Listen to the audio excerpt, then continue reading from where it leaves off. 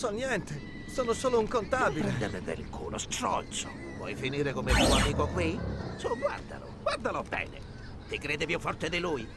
Quando finiamo con te, ti mettiamo in una di queste macchine e poi ti tretiamo.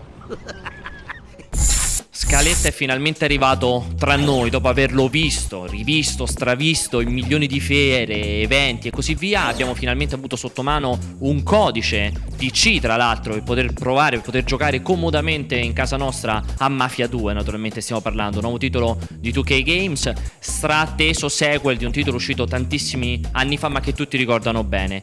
Quattro capitoli da giocare per cominciare a provare, una grafica assolutamente di primissimo livello. Seguite nel dettaglio ogni aspetto del gioco nella nostra video anteprima.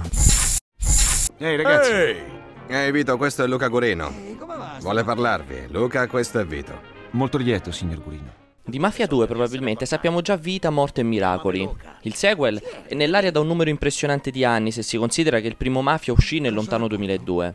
A quel tempo lo sviluppatore rispondeva al nome di Illusion Softworks e nel corso degli anni il legame con il publisher originale, Take-Two, divenne talmente forte da dar luce a una vera e propria fusione attraverso la creazione di 2K Check. Nonostante si tratti di un sequel, l'unico legame con il predecessore riguarda l'atmosfera che si respira nel gioco e un certo modo di raccontare una storia a tinte agrodolci.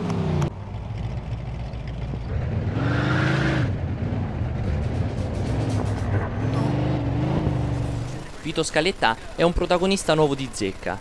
Italiano nelle sue origini familiari, ma nato e cresciuto in America. Si troverà a tornare nella sua Empire Bay in seguito a una ferita di guerra.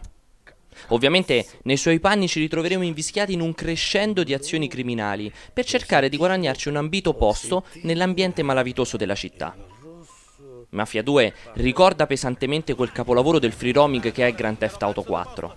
Una città, Empire Bay, liberamente esplorabile a piedi o con qualsiasi veicolo. Un'abitazione che si evolverà e modificherà nel corso del gioco. Negozi di vestiti e armi dove cambiare il proprio abbigliamento e rifornirsi di munizioni. E naturalmente tutta una serie di location da visitare nel corso di una campagna single player, la cui durata è ancora avvolta nel mistero e la cui suddivisione è basata su un sistema a capitoli.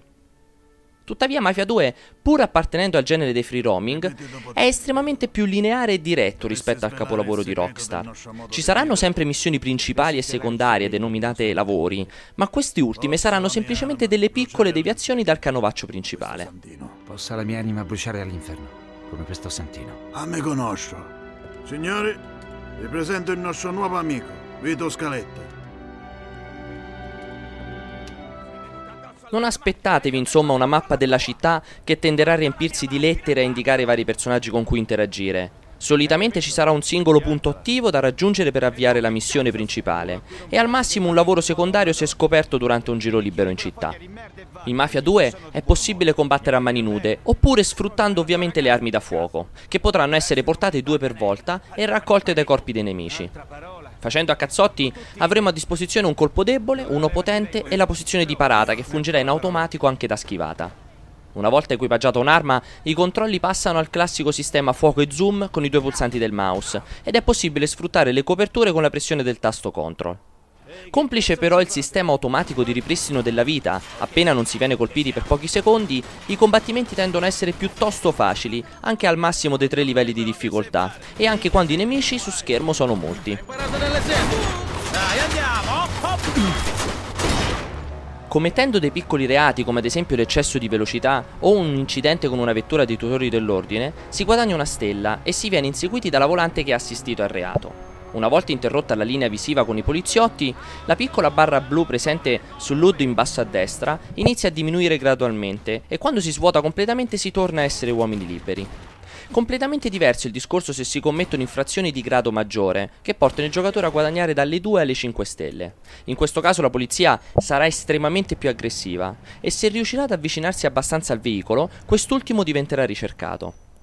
Quando si è in questa situazione non basterà più svuotare la barra della polizia per non essere più inseguiti. In qualsiasi momento infatti, passando troppo vicino a una volante o a un poliziotto a piedi, la barra tornerà a riempirsi riattivando eventualmente l'inseguimento. Sarà necessario liberarsi del veicolo, eventualmente rubandone un altro senza farsi beccare, oppure entrare in fretta e furia in un'officina. Queste particolari strutture permetteranno di riverniciare la vettura o cambiare la targa per eliminare l'etichetta di criminali e allo stesso tempo di fare piccole modifiche alla macchina, anche di natura estetica, per renderla più performante. Scegli un colore, uno qualunque.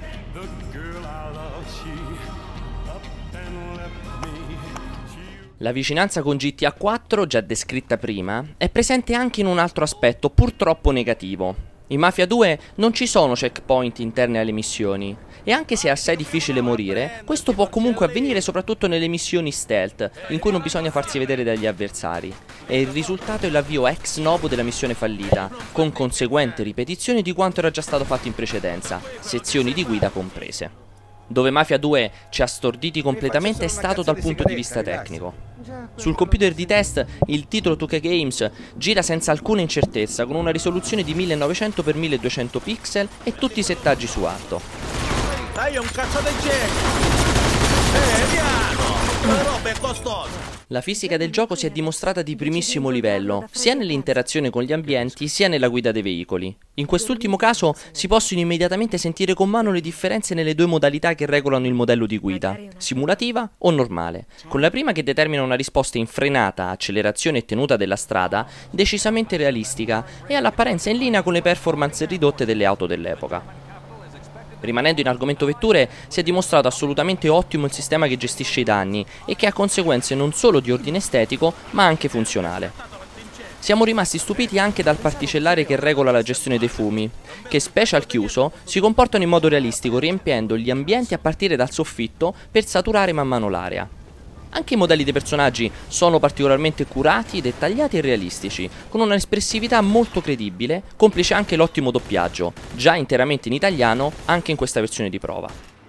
Ok, io e Joe andiamo all'appartamento. Tu prendi la mitragliatrice da Henry a Kingston.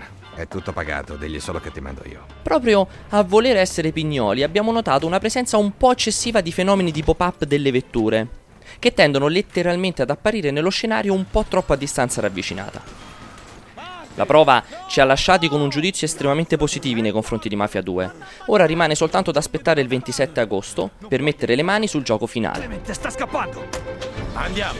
Quello stronzo lo uccido!